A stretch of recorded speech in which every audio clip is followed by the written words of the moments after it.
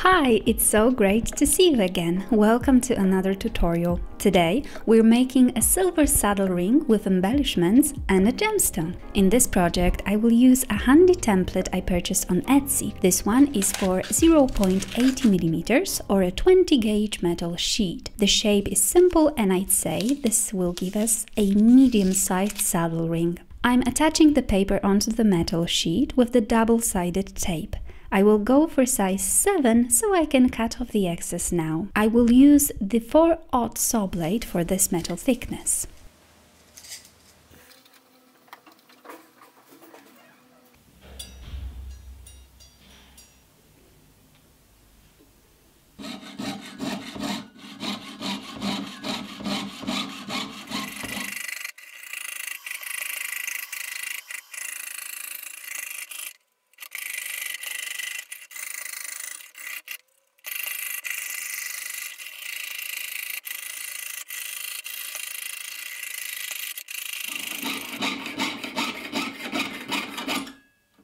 Time to sand and smooth out the edges. I'm going to use hand files and buffing sticks to do that.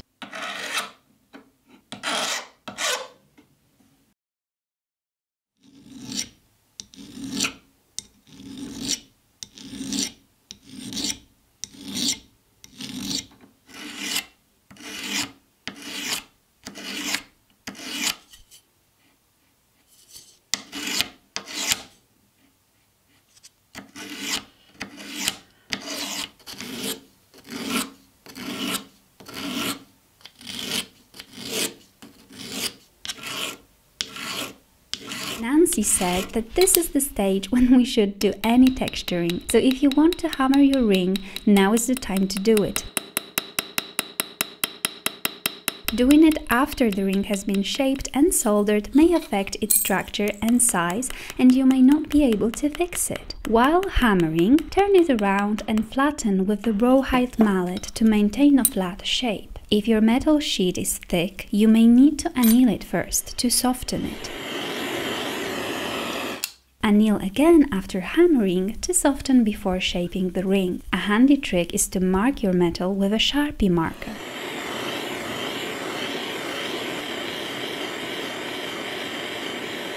You'll know your metal has been annealed once the marker disappears. Now it's time to arrange the embellishments. I didn't have a clear idea for this ring, so now I'm just playing around with some elements and gems. Only the flat elements will be soldered at this point. I'm going to solder these small elements using a soldering paste, which helps to control the amount of solder and keeps the embellishments in place. You can also use a sweat soldering technique here.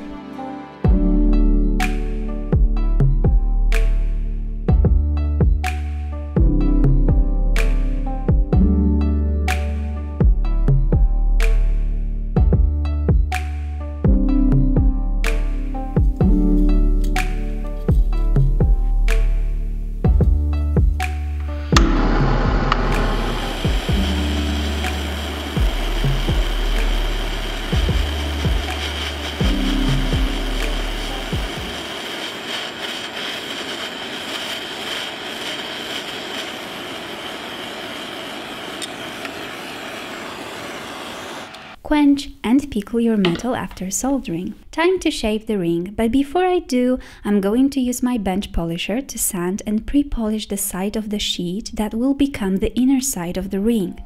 I can do it much faster this way and it will save me some time later on. I'm using a bench polisher by Pepe Tools with the bristle wheels and a ventilating hood by Foredom.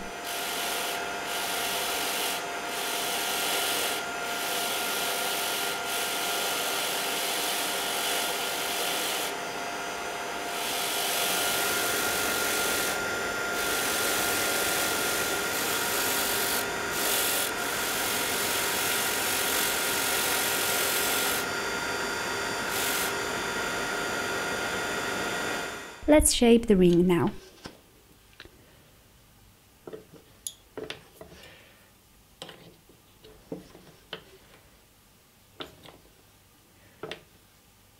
I will start by bending the middle part, which is harder, with the ring bending tool. Whether you're using ring bender or ring mandrel, make sure you frequently change the sides so that the ring is shaped evenly.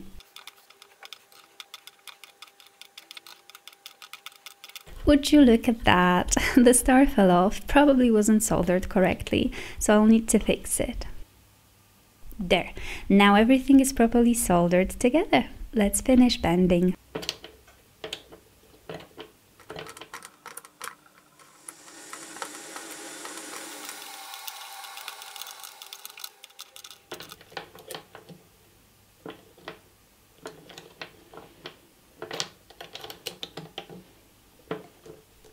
I forgot to add stamping on the sides and unfortunately it is too late for that now. But it's okay, I will add some nice embellishments here. I'm closing the ring using ring bending pliers.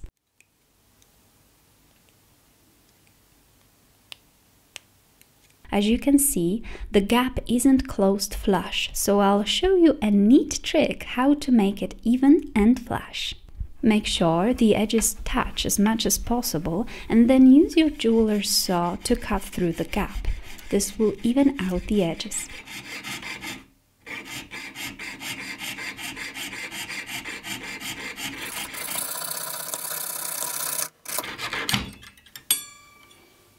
Another way is to use the nail file to sand the edges and make them flush.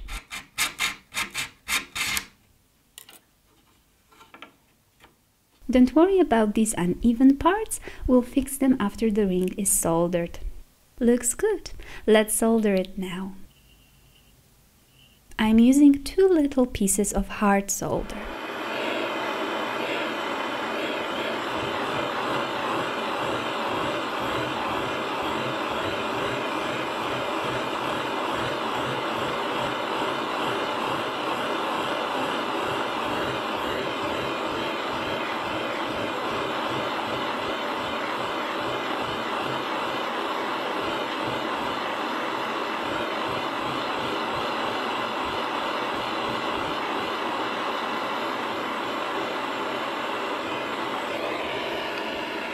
The solder has flown and it filled the gap evenly, making a strong joint. Quench and pickle. First phase is completed. Even now the ring looks very nice, don't you think? But we're not done yet. Let's make a bezel for our gemstone now. I'm using a decorative gallery wire. For this saddle ring design, I will make a bezel complete with the back plate. This is a fine silver wire, so it's soft and easy to wrap around. It's also easy to melt, so be very careful when soldering.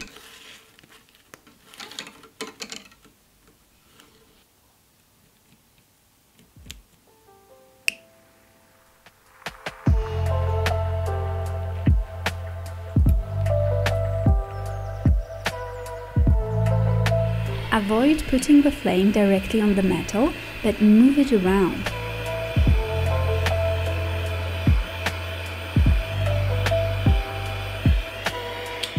Check the fit by placing the stone in the bezel.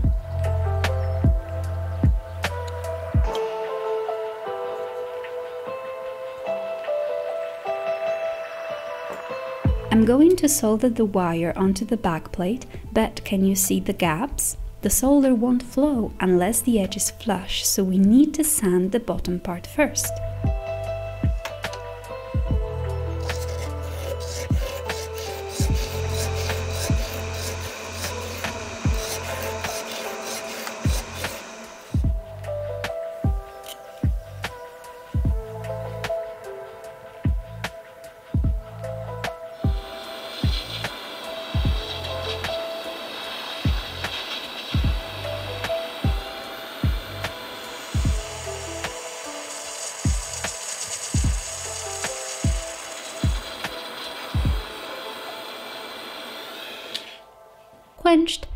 Pickled as usual. Time to sew it out.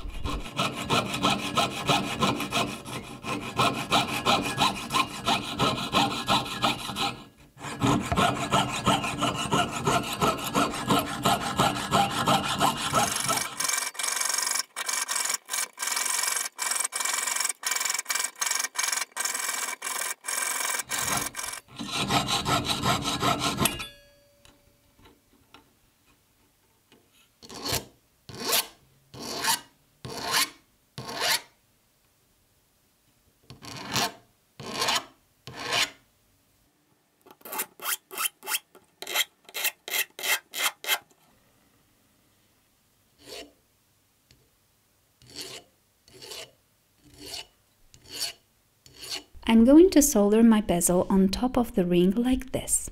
I know it's not the usual way, but I wanted to try the simpler option and see how it looks like.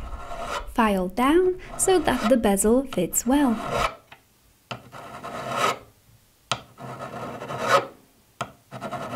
And I'm going to try using hard solder paste here. If that doesn't work, I'll just use the regular solder.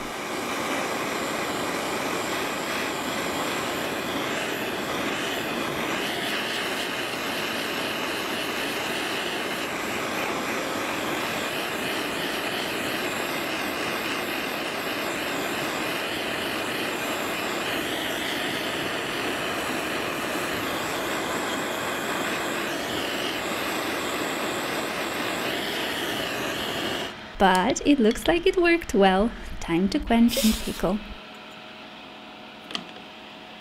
Last soldering job will be to add these little silver balls and embellishments.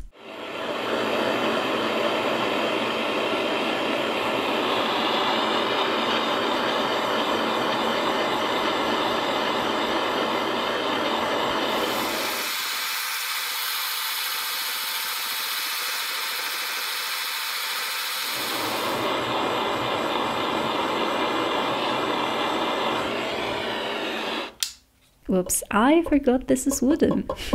I'm tempted to add a little flower here as well. Hmm. I ended up adding the flower. The ring looks so nice freshly out of the pickle. Now's the time to clean and polish the ring.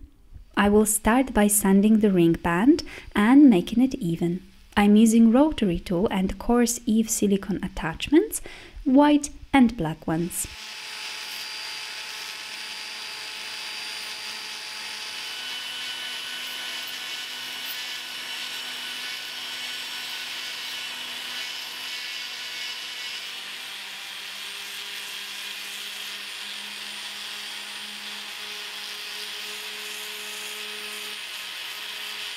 Then I moved on to some Dedeco bristle discs, blue one, pink one and the finest green one to pre-polish the ring.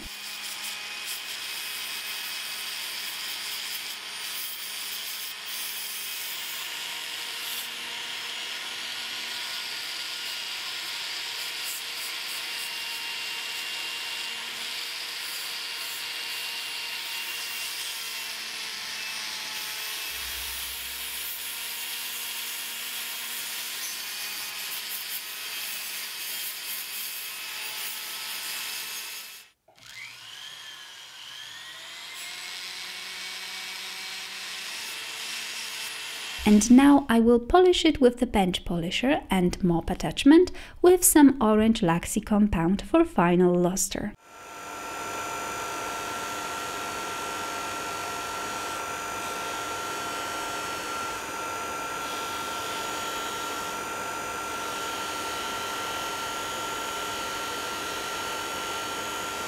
It's important to hold your piece well while you use this machine because this may happen.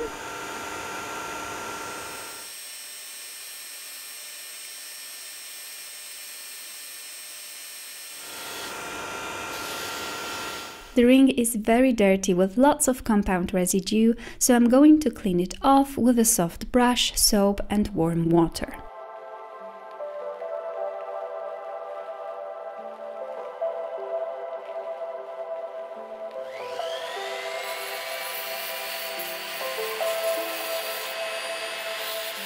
I'm now using some tiny bristle attachments to clean the bezel inside. And as the last cleaning step, I'm going to use this ultrasonic cleaner with a cleaning product inside to remove any residue from the polishing compound and dirt.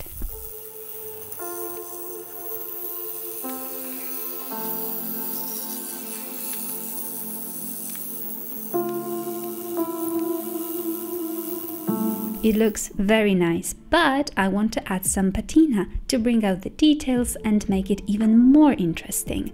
I use Platinol Patina solution.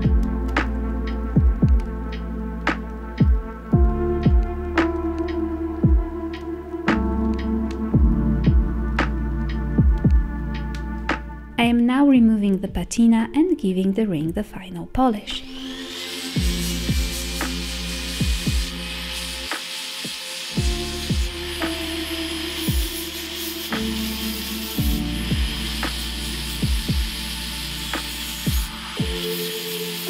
Last step is to set the stone with the bezel pusher.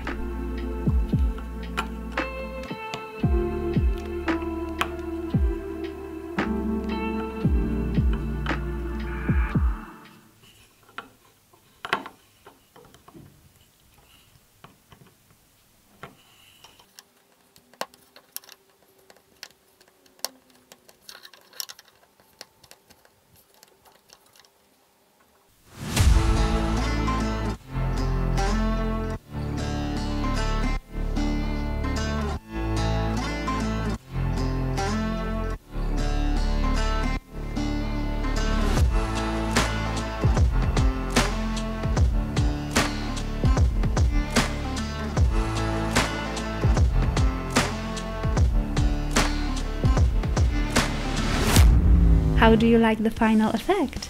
Are you going to try the saddle ring yourself? Huge thank you to Pepe Tools for making this episode possible. You can find their awesome tools including soldering paste, saw blades and the ring bender in the description below the video. I hope you enjoyed this video. Check out this video to watch another really cool project. Thanks for watching and I will see you in the next one. Bye!